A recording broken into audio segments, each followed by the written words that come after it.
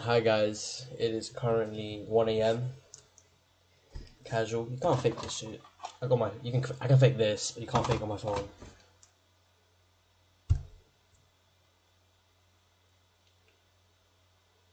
One a.m. Tablet 1 a.m.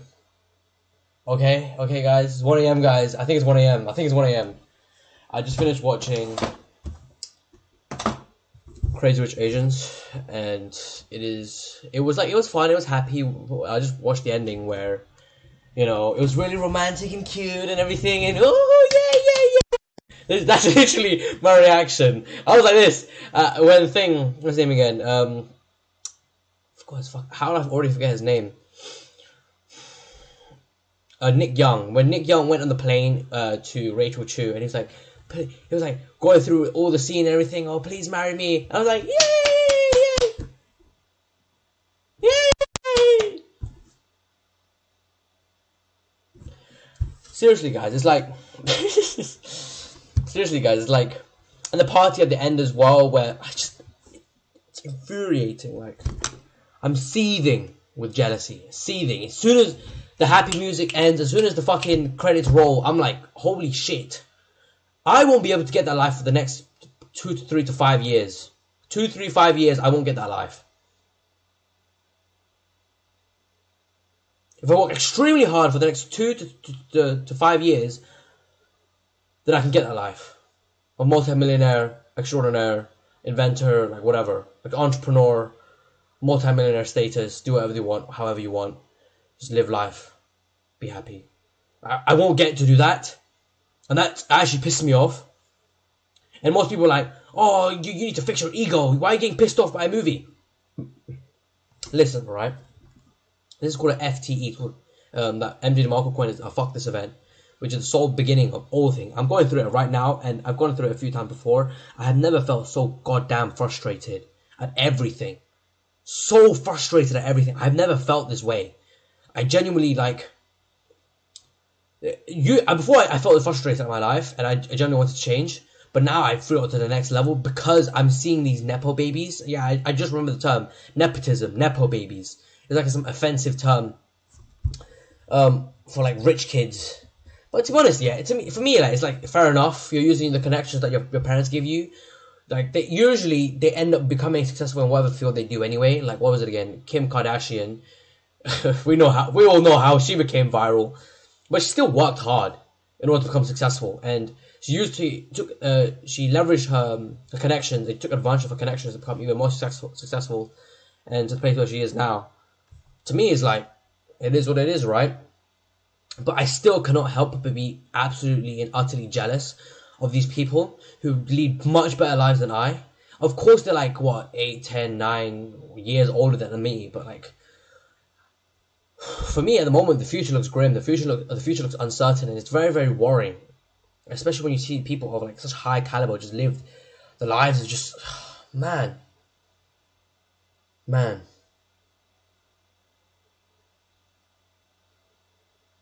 I just don't want to grow up and be like 30 watch myself be 30 one day because that happens quick. I still remember when I was 10 years old I used, I used to wake up every single day and I was just 10 years old and then suddenly I'm 11, suddenly I'm 12, suddenly I'm 13, 14, 15, 16, 17, now 18 in July.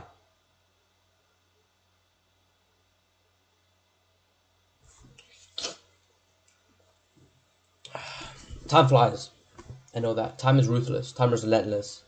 It doesn't care about how you feel. It doesn't care about the way you approach things. Time is ruthless to, uh, for everyone. Time waits for no man. And what I worry about is that maybe I go around on the wrong thing and I waste all my time and I, I don't do what I, I need to do and I just don't make enough money and I just end up being a failure forever and it's just it's tough man. I mean I don't see failure as a bad thing.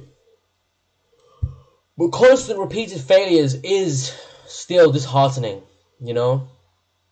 It's still disheartening. I see these people with the highest level connections, with the most affluence, the most opulence within their lifestyles.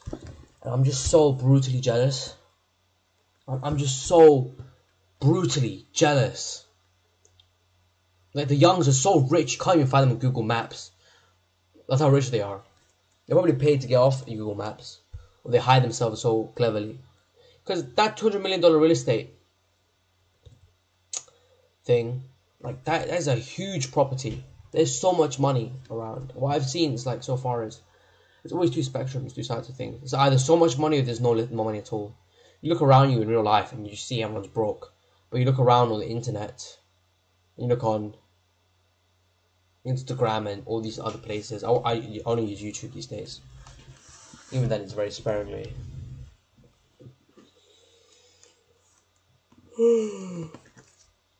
Look around on these apps and there's so much rich people. There is so much money. But how do I fucking get it? I want to live a crazy rich Asian lifestyle. I'm already crazy, so one third of no, I'm I'm crazy and I'm Asian, but I'm not rich, so I'm just crazy Asian. I I satisfied two thirds uh, to be of the qualifications you need to become a crazy rich Asian. Ah!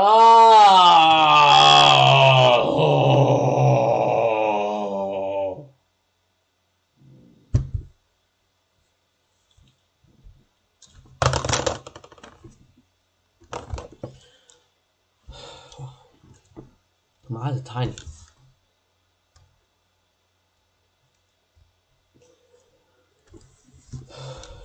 That's my reaction to Crazy Rich Asians. I'm just jealous because I want a better life like theirs. A lot of people will be like, "Don't be disheartened. They'll be all okay, Jimmy. Jimmy, it's all gonna be okay. It's all gonna be okay, Jimmy. You don't be disheartened. That's not real anyway. Someone out there is living that life. Who? What's his name again? Astrid Yang Young. She bought um, earrings for 1.2 million, and that was a discount. That was a discount. That was the discount. How the fuck is that the discount? That is not the discount. what? It's more some people's houses. She's just wearing on her ears. There's something wrong with the system, clearly. Oh. oh. I'm gonna go to take a shower. My head is really greasy. That was my reaction to the Crazy Rich Asians. I'm seething with jealousy. I can't see anything. I'm, and my eyes are really itchy without glasses. I, look, I feel um out of place. Guys, I want to a great crazy rich Asian man. It's so so so stupid, man. So stupid. I just.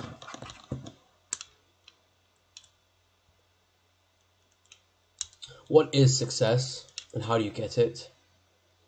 I mean, success for me is I'm constantly around my friends and family, around people I love. I always have a minimum of 50 grand in the bank account. I can spend money and money constantly comes in. I have cash flow. Success to me is the freedom of not caring about money. It's kind of weird. Like you, so at some point you make so much money to the point where you don't care about money.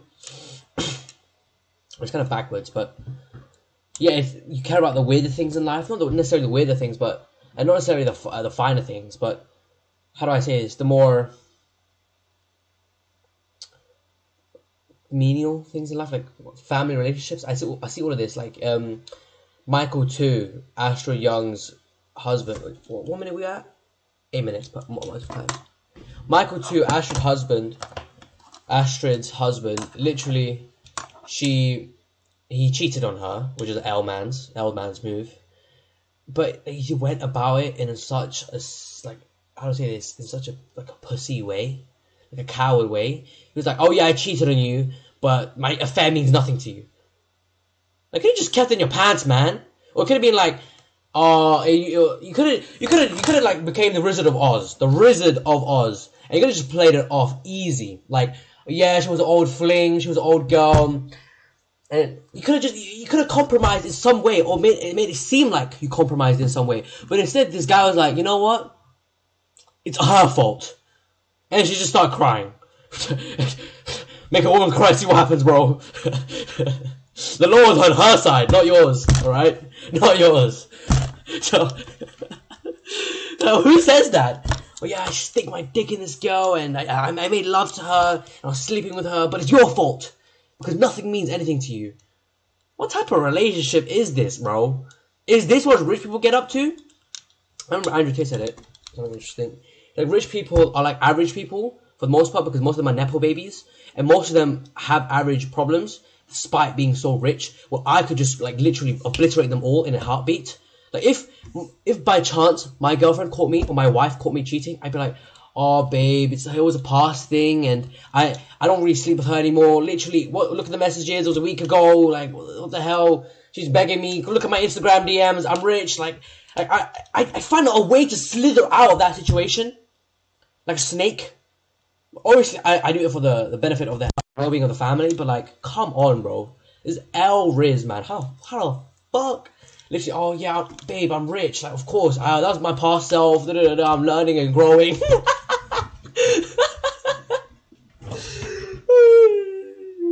I'm learning, I'm growing, and then and then I'd compromise with the son.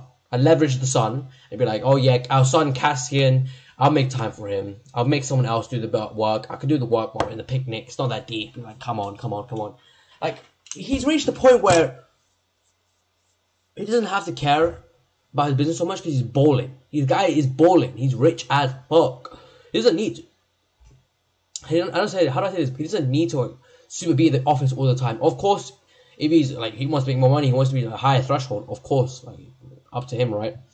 But he doesn't need to do that. He, not, he doesn't need to at all. It's just, bro. It's like all these issues. I feel like I could resolve by myself very, very easily and relatively effortlessly biggest issue from what I've seen, the biggest mountain, the biggest hurdle, in which they see this is so weird because they see money as such an easy topic to get, uh, easy thing to get, and usually when they start their own businesses, they approach money with an abundance mindset, so they end up getting more money. It's weird. But for me, people that struggle with the idea of having a lot of money, like in the Psychology of Sales by Brian Tracy, he says that um, this one individual he sold satellites to farmers for five thousand dollars each, and his business was booming a month. I think he sold I don't know the exact number, but he made so much money. I'm pretty sure like a hundred or something. That's like what five million. Five million, and then he said the way he, he saw himself and the way how uh, the way he approached money because of the psychology of sales. The way his psychology was that he was a brokey, he was a peasant, he was a peon, and when he made that amount of money, he, he used to go home he used to turn off the lights and put down the blinds in his apart- in his little modest apartment, and he used to crawl up in his bed and sweat and and, and thing and be anxious and nervous in his in his own bed. Like he used to go home, turn off the light, put down the curtains, crawl into his bed, and be like, oh, oh, oh. because he couldn't come to accept the fact that he's making so much money. It's all about how you view yourself and how you view money, I guess. That I mean, that's what I've seen so far. I, I, I don't know. I'm not, I'm not balling like that. It's, it's I wish I'm balling like that. so, the, so the way they see money, they see money in the way in, in which that it's easy to obtain. The way I see money, it, it, in the way that it's uh, difficult to obtain. But, but the way they see their relationship, their, their relationship, they're like, oh, it's difficult to solve. But I see it like it's very easy to solve because, like, I guess I, I guess like there's a weird dilemma when you grow up rich, right? I grew up as a nepo, nepotism baby, right? Or nepo baby. How much time are we on? Ah, 30, oh, 30 minutes, cool. The weird dilemma because you're kind of around plastic people and fake people that just want your money and just want to be around you because like you're rich, and I think that what is ending your psyche? Oh, oh, oh, oh, oh. Woo! Um, so that's my reaction to Crazy Rich Asians. I'm jealous, as we all all are. But um, the best thing we can do instead of being jealous is to get educated, get our money up, not our funny up, read books, start businesses, provide value to the market, and get rich.